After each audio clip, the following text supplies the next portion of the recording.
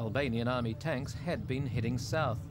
Even if they'd wanted to go further, this route at least was blocked, dynamited by rebellious southerners. But after Wednesday's clashes, the region was relatively calm.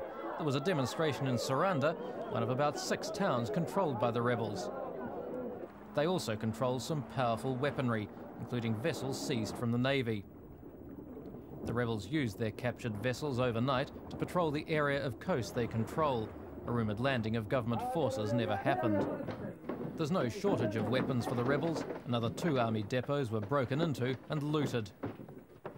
But the government is attempting a political solution. The insurgents have been given a 48 hour amnesty to hand back the weapons. Government and opposition members, putting aside their differences, met at President Sali Berisha's official residence and agreed army operations will be suspended during that time. I think it was it's a starting of the dialogue and uh, it's a, a, small step uh, forward. There are plenty of signs of the rebellion in the southern towns, and the numbers waiting for visas outside the Greek consulate suggests not everyone wants confrontation. Events in the next 48 hours could dictate whether the small trickle of refugees heading for the Greek border dries up or turns into a torrent.